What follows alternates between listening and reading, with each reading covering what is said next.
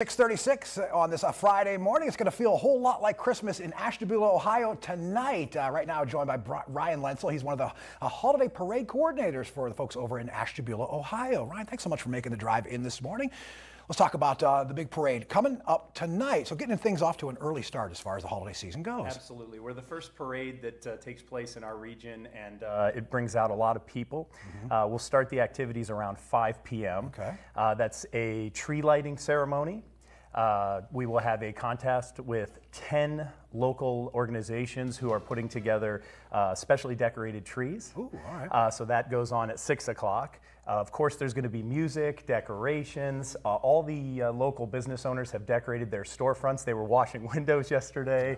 Uh, just just getting the, the downtown area really prepped up for a wonderful event. And uh, a Disney theme, am I correct in that? This, this, this year's theme is Disney, so of course people are really excited about that and the kids. And this parade is huge for kids. You know, they line the streets, they uh, toss out candy, and all, all, the kids are scrambling around getting it. You know, it reminds me a little bit of almost like Halloween. They're getting so much extra candy. So really fun event. Uh, we're actually going to have um, everything from of course, we're going to have live music. Okay. We're going to be broadcasting from a giant boombox radio that, that we announced the parade from. Right. Uh, we've got uh, roasted chestnuts by the Kiwanis Club. They're going to come out and actually roast on an open fire nice. during All the right. event.